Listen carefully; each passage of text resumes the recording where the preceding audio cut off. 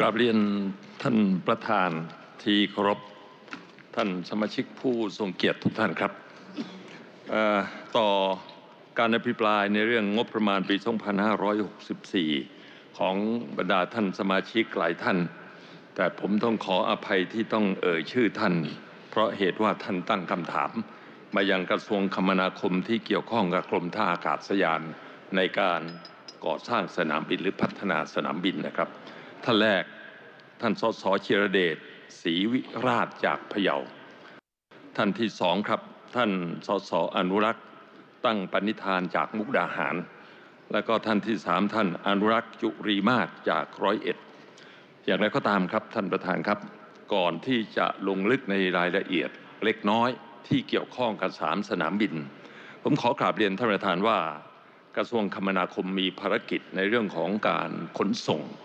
ทางน้ำทางบกทางรางและทางอากาศสำหรับทางอากาศนั้นก็กรมท่าอากาศยาน และการท่าอากาศยานเป็นผู้รับผิดชอบ ผมรับผิดชอบกรมท่าอากาศยาน และวันนี้ได้รับมอบฉันทะจากพระท่านนายกรัฐมนตรีให้เป็นผู้มาตอบเกี่ยวกับเรื่องนี้ ท่านประธานครับ โดยยุทธศาสตร์ชาติและนโยบายรัฐบาล ตั้งแต่ปี 2558 ของรัฐบาลที่แล้ว จนถึงรัฐบาลนี้ ต้องการที่จะทำนโยบายในเรื่องของการขนส่งทางอากาศ เพื่อเชื่อมโลกเชื่อมไทยสู่เมืองรอง นั่นคือเป็นนโยบายหลัก ทีนี้ช่วยขึ้นสไลด์นะครับ ผมขอกราบเรียนว่าตั้งแต่ปี 2558 รัฐบาลที่แล้วมาถึงยุครัฐบาลนี้ปี 2563 รัฐบาลได้จัดเงินงบประมาณในการพัฒนาสนามบินไปแล้ว 14,600 ล้าน ปรากฏว่าสนามบินเบตงก่อสร้างเสร็จแล้ว เตรียมพร้อมที่จะเปิด ใช้เงินงบประมาณไป11,655ล้าน สนามบินแม่สอดซึ่งเป็นสนามบินนานาชาติเปิดแล้วนะครับ1,113ล้าน สนามบินกระบี่ใช้เงินงบประมาณ5,136ล้าน ขอนแก่น2,504ล้าน ตรัง3,548ล้าน นครศรีธรรมราช 3,458 ล้าน สุราษฎร์ธานี 1,500 ล้าน และบุรีรัมย์1,725 ล้าน แต่ที่จนถึงวันปี 2563 นี้ใช้เงินไป 14,600 ล้าน ถ้าสิ้นนโยบายนี้ตามหลักนี้นะครับจะใช้เงินประมาณ 36,000 ล้านในปี 2568 ครับ ทีนี้ผมขอยกตัวอย่าง สนามบินที่ก่อสร้างอยู่ในขณะนี้สักสามสนามบิน ซึ่งเป็นสนามบินต้นแบบที่กำลังพัฒนาภาคละหนึ่งสนามบินกับท่านประธานครับเเริ่มต้นที่สนามบินกระบี่แล้วกันนะครับ สนามบินกระบี่ 2561 ถึง 2565 ทางกระทรวงคมนาคมจัดเงินงบประมาณไว้ให้ 5,136 ล้านประกอบด้วย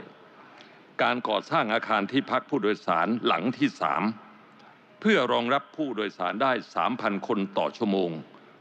หรือ 8 ล้านคนต่อปี ตามภาพนั่นแหละครับ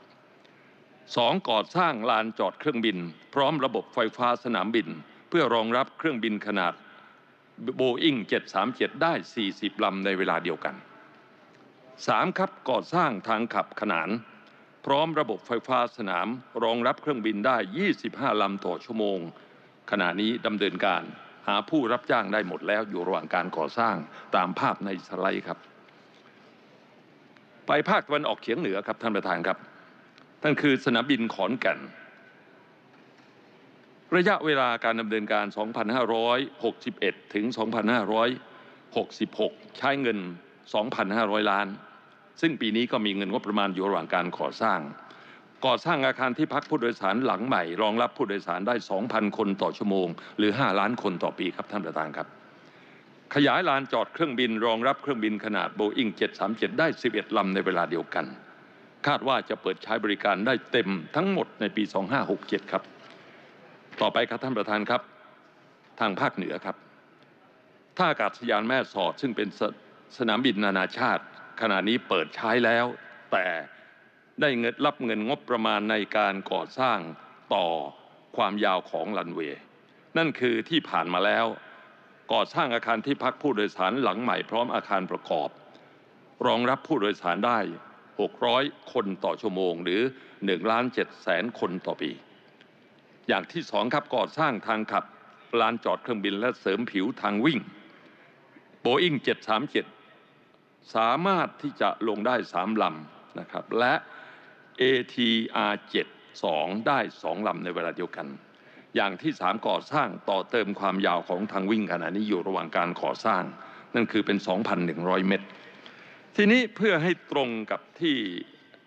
ท่านสมาชิกผู้ทรงเกียรติได้สอบถามมา นั่นคือ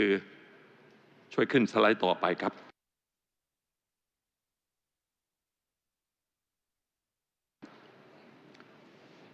จังหวัดพะเยาครับ เราทราบดีว่าสนามบินสนามบินที่เชียงใหม่ที่เชียงรายนี่หนาแน่น และก็การจราจรทางอากาศแออัด เพราะขณะนี้ถ้าปี 62 นะครับ เครื่องบินขึ้นลงในประเทศไทย ปีหนึ่งหนึ่งล้านหนึ่งแสนลำ ช่วงวิกฤตโควิดลดลง แต่คาดว่าอีก 2-3 ปีข้างหน้าก็ก็จะกลับเข้าสู่ภาวะปกติ ของสนามบินจังหวัดพะเยาท่านสสเชียรเดชสอบถามมา ขณะนี้ทางรัฐบาลโดยกระทรวงคมนาคมได้จัดสรรเงินงบประมาณให้ในปี 2564 ในการทำการศึกษา ต่อไปครับ วันก่อนท่านสสนาริศขำนุรักษ์จากพัทลุงได้สอบถามว่า สนามบินพัทลุงจะเกิดไหม ขอกราบเรียนว่าขณะนี้ได้ตั้งงบประมาณกองทุนของปี 63 คาดว่าในเดือนกรกฎาคมนี้ทางกรมบัญชีกลางจะอนุมัติมานะครับ จังหวัดสตูลครับ ขณะนี้อยู่ระหว่างศึกษาใช้เงินงบประมาณของกองทุนเช่นกันครับ จังหวัดบึงกาฬครับ อยู่ระหว่างการศึกษาใช้เงินกองทุนของปี 63 เหมือนกัน จังหวัดมุกดาหารของท่านสสอนุรักษ์ตั้งปณิธาน ศึกษาความเป็นไปได้เรียบร้อยแล้วครับ และอยู่ระหว่างเสนอกระทรวงคมนาคมเพื่อพิจารณาต่อไปครับ กาลสินครับขอรับจัดสรรงบประมาณปี 2564 นครปฐมครับ อยู่ในขั้นตอนการพิจารณาของสำนักนโยบายและแผนทรัพยากรธรรมชาติและสิ่งแวดล้อม สุดท้ายครับท่านประธานครับ สนามบินบุร้อยเอ็ดของท่านอนุรักษ์จุริมาศที่ท่านได้สอบถามมาอย่างต่อเนื่อง จริง ๆ แล้วควรจะได้ปี 63 แต่เกิดปัญหา ปี 64 เราตั้งไว้ให้ครับ ในการพัฒนาท่าอากาศยานร้อยเอ็ดก่อสร้างปรับปรุงต่อเติมอาคารที่พักผู้โดยสารครับ วงเงินงบประมาณ 110 ล้าน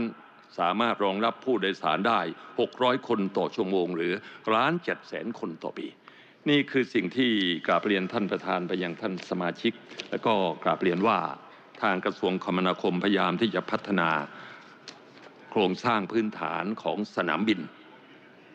ที่อยู่ในความรับผิดชอบ แต่สนามบินของจังหวัดพังงาอยู่ในระหว่างการพิจารณาของ AOT หรือการท่าอากาศยานครับท่าน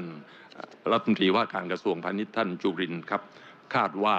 เดือนสองเดือนนี้จะเข้าสู่ที่ประชุมของคณะกรรมของกระทรวงคมนาคมได้ครับครับเรียนด้วยความเคารพครับ เชิญท่านรัฐมนตรีสม